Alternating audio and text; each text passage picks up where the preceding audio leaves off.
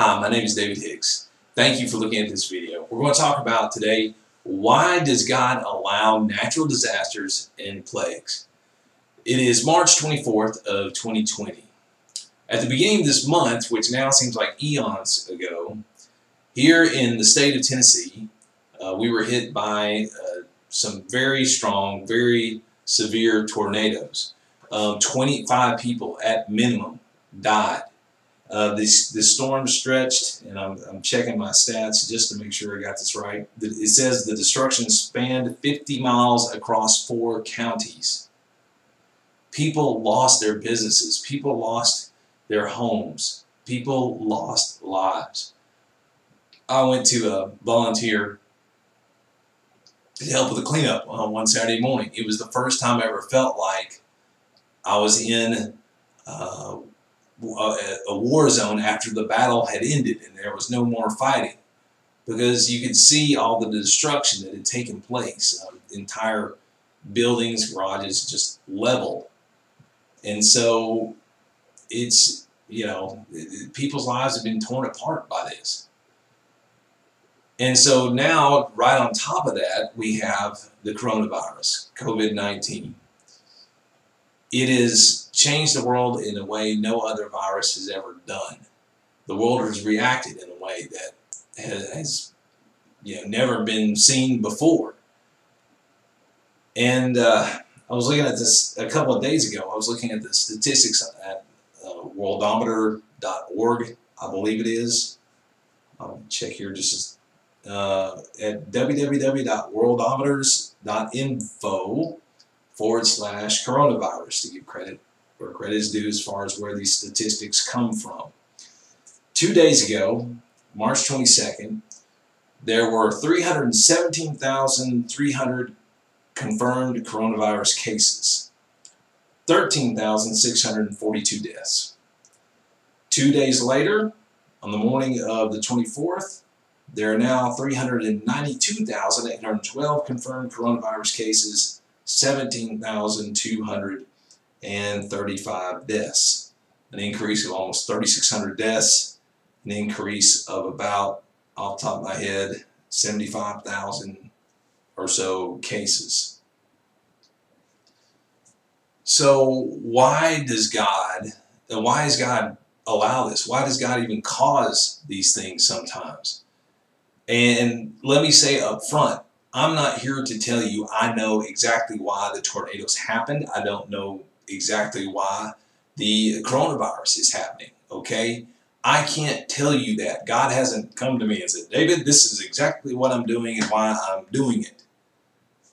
What I can do is I can show you places in the Bible where similar things either happened or have been promised to happen. And what is God's reasoning behind it? What's the motivation? Perhaps the most famous plagues in the history of mankind, I've got a computer here I'm gonna, that I'm using for my notes, and I'll, I'll set that down. Uh, but perhaps the most, not the most famous, one most famous, at least series of plagues, is the ten plagues in Egypt. Um, whether you believe the Bible is actually God's word or not, most people have heard of the 10 plagues against Egypt. And having realized I need my computer now, I'll list out for you what those 10 plagues were. The wa water of the Nile River was turned to blood. In fact, water all over Egypt was turned to blood. The plague of frogs, lice, flies, death of livestock, uh, livestock boils on the skin of, of people and animals, hail, locust, darkness, and finally the death of the firstborn. So these were three, ten incredibly bad plagues, uh, incredibly intense plagues. Now that you might say, well, the darkness, that doesn't sound bad. Well, the darkness was such a darkness that you couldn't even, you know, it, it's like being in a cave, deep, you know, you're in a cave deep in the earth, you're not anywhere close to the opening, and you know, all the lanterns are off, everything's off. You cannot see your hand when it's right here. It's absolute darkness, darkness that could be felt, so it says in the Bible. And it demonstrated uh, how God was more powerful than the sun god, which I think is Ra, off the top of my head, um, R-A, the sun god in Egypt. But anyway, why did God do this? Why did God allow such you know awful plagues in which many people, many Egyptians at least, died? Well, the Bible tells us that Egypt had been oppressing Israel. Um, and, and, so in Exodus 3 7, you know, God ties together, hey, I'm going to be doing this because I have seen the oppression of my people Israel. Egypt had been uh, had enslaved the people of Israel. Now, who are the people of Israel? Well, they're descendants of um, uh, Jacob, who was the grandson of Abraham. In fact, in Genesis chapter 15, uh, God told Abraham that his descendants would be uh, enslaved and mistreated for 400 years. So, for a very long period of time, the Egyptians had enslaved the Israelites and were oppressing them. In fact, if you re read Exodus chapter 1, you'll see that there was a time in which they were even killing the, the if a son was born, they would immediately, or at least the, the midwives were instructed to, uh, kill the son uh, if the woman had a son immediately. Now the midwives disobeyed. That's a good, uh, good little story there. But you can read it in Acts chapter one. But eventually the Egyptians took matter, matters into their own hands and um, killed the babies themselves, the baby boys. So there was incredible wickedness that was being done to the Israelites on behalf of the Egyptians.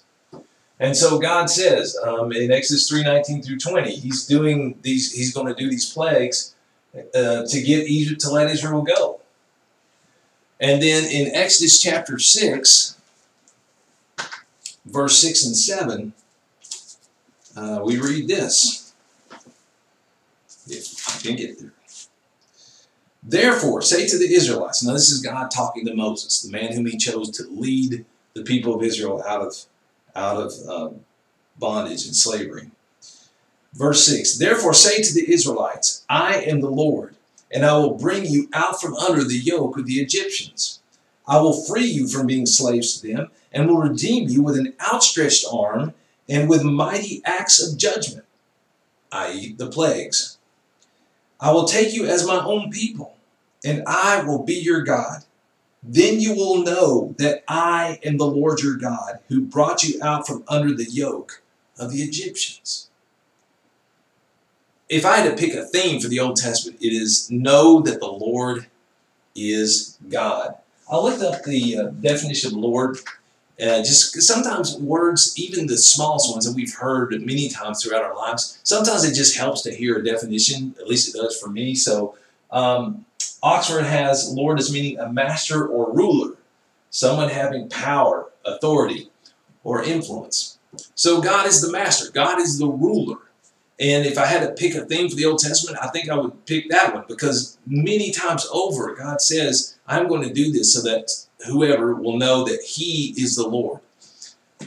And so He wanted the people of Israel to know that He's the ruler. He's the one that is in charge. He's the one that they are to submit to and follow.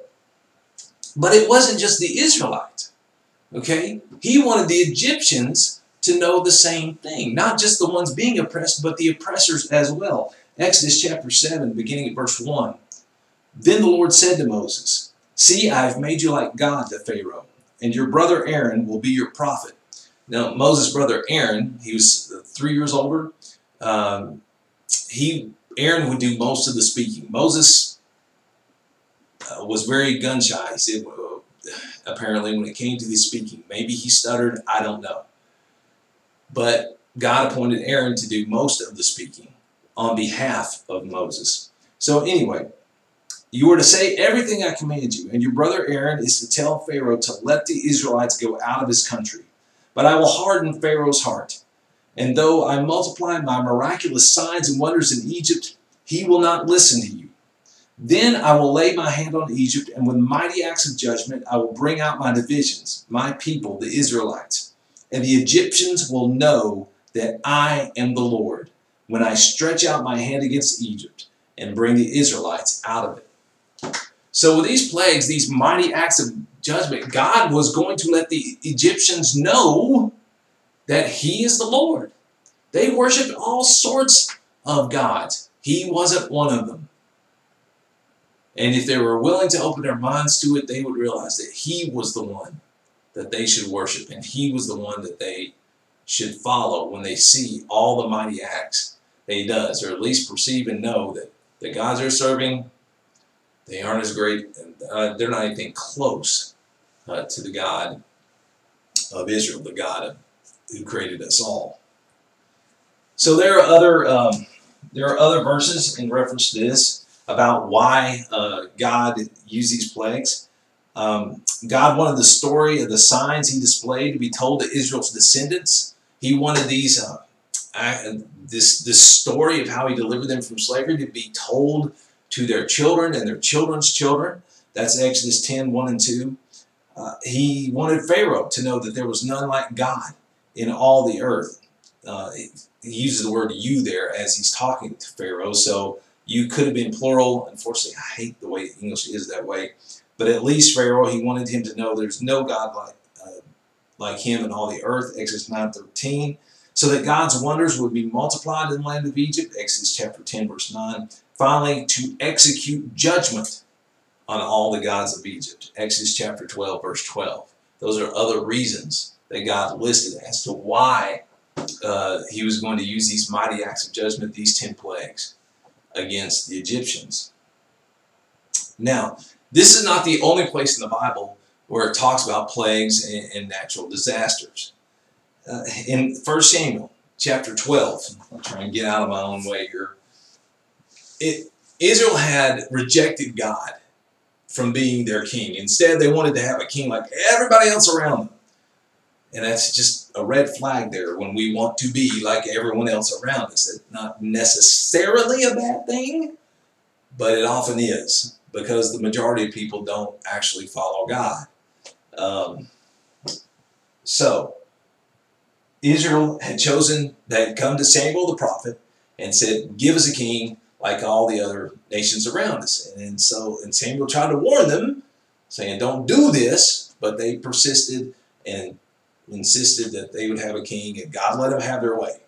But in 1 Samuel chapter 12, God uses a, a, a mighty storm uh, to show Israel that their wickedness was great in asking for a king, that they would see and perceive that their wickedness was great in wanting an earthly king instead of God to be their king. In Joel chapter 1 through chapter 2, verse 14, Joel talks about a plague of locusts, a disastrous plague of locusts. That's locust was one of the plagues in, the, in Egypt, as I listed earlier. But the point of the plague was so that people would turn to God uh, with all their heart. Sorry, uh, some of that got accidentally got erased when I dropped the whiteboard after I'd written on it. Um, so that people would turn to God with all their heart. Joel chapter 1. Uh, in a similar vein, in Revelation chapter 9 verse and chapter 16, and we'll read that now, we're going to see that God is either going to bring or has already brought, or maybe a mixture of both, plagues upon mankind so that people would repent. So they turn from their evil and follow Him. Um, we'll start with Revelation chapter 16. Okay? Revelation chapter 16 and we'll read verse 8 to 11. All right. Thanks, Bookmark, for following so far down I couldn't find you.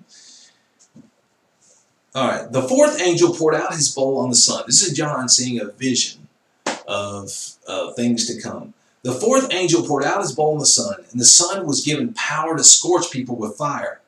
They were seared by the intense heat, and they cursed the name of God who had control over these plagues. But they refused to repent and glorify him. The fifth angel poured out his bowl on the throne of the beast, and his kingdom was plunged into darkness. Men gnawed their tongues in agony and cursed the God of heaven because of their pains and their sores, but they refused to repent of what they had done. So here we see two plagues. One, uh, global warming, warming, literally, uh, apparently caused by the, the sun increasing in intensity because the angel poured out his bowl in the sun. But the bottom line is that men were scorched with intense heat, but they refused to repent. Then something happened to them and that they were in intense pain. They refused to repent. Turn back a couple of chapters to Revelation chapter 9. And I'll start at verse 13. The sixth angel blew his trumpet, and I heard a voice coming from the horns of the golden altar that is before God. It said to the sixth angel who had the trumpet, Release the four angels who are bound at the great river Euphrates. And the four angels who had been kept ready for this very hour and day and month and year were released to kill a third of mankind. The number of the mounted troops was 200 million. I heard their number. The horses and riders I saw in, the, in my vision looked like this. Their breastplates were fiery red, dark blue, and yellow as sulfur. The heads of the horses resembled the heads of lions, and out of their mouths came fire, smoke, and sulfur. A third of mankind was killed by the th three plagues of fire, smoke, and sulfur that came out of their mouths. The power of the horses was in their mouths and in their tails for their tails were like snakes, having heads with which they inflict injury. The rest of mankind that were not killed by these plagues still did not repent of the work of their hands. They did not stop worshiping demons and idols of gold, silver, bronze, stone, and wood, idols that cannot see or hear or walk. They did not repent of their murders, their magic arts, their sexual immorality, or their thefts. So God sends severe plagues on mankind. We're talking about a third of mankind being killed, and yet mankind refuses to repent. Now let's have an honest discussion for a minute here. Again, I do not know why the coronavirus plague is happening. Okay? But can we at least ask ourselves this much?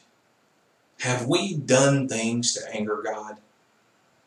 We talk about how God is love. Absolutely. But he also has a side of wrath. A side of wrath that is described as fierce, as great, not as in be great, but as in uh, large in scope and intensity is the way I think of it. Great wrath in that sense. God does not hide his wrath uh, from mankind. In fact, um, in this last one, this last bullet point, God, in Deuteronomy chapter 28, Moses is talking to the people of Israel. And he first, it starts out oh so wonderful and so lovely as he talks about all the blessings they would get if they followed God. But the vast majority of the chapter then is about all the horrible things, hard things, too, things too graphic to even read, really, um, that would happen to them if they rebelled against God. And so, one of the reasons that God would send these the plagues upon the Israelites is as punishment for their disobedience. See, especially verse 45 and verses 58 and 61 of Deuteronomy chapter 28. And so that is often the reason for these plagues. And so we have to ask ourselves, have we angered God? Because, and, and, let me say this real quick.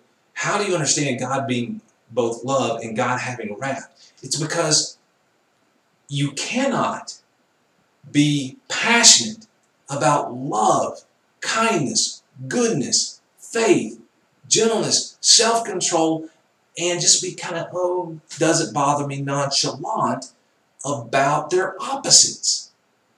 If you love love, you're going to hate hate. If you love kindness, you're going to hate meanness. If you are passionate about self-control, you're going to hate out of being out of control. So God, as He is so passionate about love and patience and goodness and kindness and perseverance and all these wonderful qualities, things against which there is no law, as Galatians chapter 5 says, that he cannot stand the things that are directly opposed to them. They're opposites. And so here it lists out a whole bunch of things that people refuse to repent of murders, magic arts, sexual immorality, or their thefts. Now, interesting point, and maybe we should get to that in a minute, that I've seen magic arts flagged as an alternative interpretation drugs. So let's just talk about this for a moment here. Um, and I'm doing a time check, so I'm trying not to take too much of your time. But these are some statistics I researched. All right. Well, let's look at the first one murders. Okay, we all know there's violence the world, and people just how often during the week on the nightly news, even locally, is it talking about somebody being killed? It's one of the reasons we don't hardly watch news anymore because it's so depressing about, you know, and, and now we live in an age where mass shootings in schools, mass shootings at, at like the concert in uh, Las Vegas, um, mass shootings are almost like in vogue. You read about people taking vehicles and just plowing into crowds. It is it is a world gone mad. It feels like, and and you know people are being murdered even in in mass now by uh, the evil deeds of some. Um, think about abortion, okay? And you might your immediate reaction might be, "Well, David, abortion not murder." Okay, let's just set that discussion aside for a minute. What does it matter? Because in Proverbs chapter six, when Solomon lists the six, seven things that God hates, one of the things that he says is hands that shed innocent blood. Whose blood is more innocent than that of an unborn child? Call it what you want, but it's something God hates. And so, according to the statistics that I came across, which from the years 2010 to 2014, the first half of the 2010s, 56 million, it's an estimate that there was 56 million abortions worldwide each year. 56 million across the world each year. In 2017, according to the Guttmacher Institute, Guttmacher Institute, um, G-U-T-T-M-A-C-H-E-R, there were approximately 862,000 abortions performed in the U.S. 862,000 in 2017 in the U.S. So murders. Didn't repent of that from the plagues. Um, magic arts. Well, if magic arts can be translated as drugs, now there's definitely sorcery in the world today. I've been in Africa, they practice sorcery, okay? And I'm not saying I saw people like pull rabbits out of hats. I'm talking about like placing curses upon people and just dark arts. And of course, there is witchcraft. I would guess in every country of the world. Certainly, there are people who practice uh, witchcraft here and, and, those kinds of things. But let's talk about if the translation here can be drugs. Well, let's talk about those for a minute. Um, according to the Center of Addiction, 18 million Americans, according to the Center on Addiction, 18 million Americans, and currently there's about 327 million people in America, struggle with alcohol addiction. 4.2 million marijuana, 1.8 million painkillers. We're in the opioid crisis. Um, in fact, my uh, my sister, who struggles with tremendous back pain, her the amount of painkillers she can get has been drastically decreased by the people who abuse painkillers, and, and by the the effort to crack down on the opioid crisis. People like her who really truly need the pain relief um, can't get as much as they need. The 0.8 million, cocaine, 0.4 million, heroin. Millions of people struggling with abuse of alcohol, abuse of drugs, and all the things that come with that. All the destruction and the havoc that is wreaked in the lives of those around them, even those um, that they supposedly love because of alcohol abuse and, and drug abuse um, their sexual immorality. boy, where do we go from here? Um, based on the research I did, it was I consistently saw that four percent of websites are pornographic in nature. Assuming that is true, okay, according to Google, when I re researched this a couple days ago, there are over 1.7 billion websites. 1.7 billion. If just 4% of those are pornographic in nature, and ironically, we just uh, I just did a video re recently about um, the Sermon on the Mount, how Jesus talked about when you look at another person and lust for them, you commit adultery with them already in your heart. So we're talking about websites dedicated to make people do that which Jesus told us not to do, to encourage people to um, lust in their hearts for people who aren't their wives, aren't their husbands. Um, well, if that's true, if 4% are pornographic, then well over 69.7 million websites, almost 70 million websites are pornographic in nature. Let's say the percentage, just cut it in half. We're still talking about 35 million websites dedicated to porn. Um, we have uh, homosexuality has increased exponentially. Okay, and it is a, a, very difficult situation to deal with, and, I, and I'll, I think I'll talk about that more in just a minute here because I've got to chew out basically my fellow followers of Jesus for something if I can get to it. Um, but we were just um, for and in the sexual revolution since the 60s let just set aside homosexuality okay sex between men and women who are not married it's it's off the charts you know we live in a life that that says um, you know pursue sex at all costs basically. Get as much sex as you can from many people you can as often as you can because that's what you know life's about and nothing could be farther from the truth. Um, we live in an age where sex trafficking is a huge problem.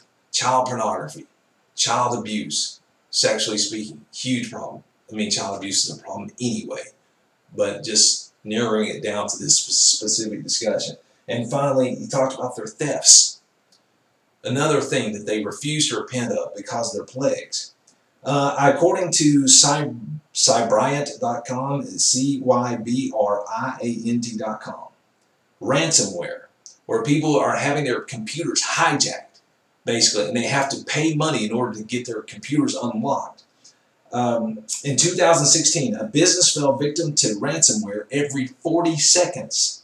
It is estimated that businesses will fall prey to ransomware every 14 seconds in 2019 and 11 seconds in 2021. Global cost of ransomware is predicted to reach 11.5 billion in 2019 and 20 billion by 2021. So obviously these statistics were from just a few years ago. But still 11.5 billion, 20 billion in 2021 victims of ransomware. That's thefts. So have we given God reasons for plagues? Absolutely. Absolutely. Is that why this one's going on? I don't know. But we need to ask ourselves, you know, we need to we need to repent. We need to listen to those voices in our head that are saying, hey, you need to get your life right with God. Regardless of whether or not there's a plague, regardless of why this virus is going on, and why this tendency Tennessee tornado hit and stuff like that. It's uh, it's awful. Um, I'll try to end quickly here. There's an actual different reason why plagues happen, and it's not related to sin. This one was actually related to faithfulness. It goes back to a man named Job. Job lost, these were kind of personal plays, if you will, because he lost all, he was a rich, rich man. Richest in all the East, if I remember correctly. And uh, he lost all his livestock cattle, uh, see, sheep, donkeys. I should have read the story before I got here to refresh my memory. But he last, lost all his livestock. Even more importantly, he lost all his children in a whirlwind that hit their house while they were all gathered together. And the uh, house collapsed, killed them all. Lost all his servants, except in each incident where something, uh, one of these individual plagues, if you will, happened to him, one servant was left alive to be able to go tell him the bad news. And it all happened because he had been faithful to God. And Satan had challenged God, saying, You know, if you take away all this, he'll curse you to his face. And so God took away, or allowed Satan to take away everything that Job had except for his wife, who encouraged him to curse God and die. And yet Job refused to speak evil to the Lord. In chapter 2 of Job, his health is taken away. Still doesn't curse God. And then three friends show up, and their role is to comfort Job, and instead they spend, you know, they have this long conversation asking Job, telling Job about how wicked a man he must have been for all this bad stuff to have happened to him. But in the end, God shows up. He questions Job because Job had wanted to question him, so God had to do a little humbling of Job there. And Job does humble himself before the Lord in that regard. But in the end, he blesses Job. You know, for every child he lost, one child was replaced. And for all his possessions, God doubled them. And in James chapter 5, verse 11, he talks about how you've heard of the perseverance of Job and seen the end intended by the Lord, that the Lord is very merciful and compassionate. And so, Job, uh, when you read the whole story of Job, in the end, God pours out tons of mercy, tons of compassion on Job for his faithfulness to him. But Job did have to endure a hard time. So, brothers and sisters in Christ, please stay faithful to the Lord. And through whatever plague or, or problem has come your way, hold on to Him, cling to Him. And if you're not following Him, turn to Him. And uh, God bless you. God bless this.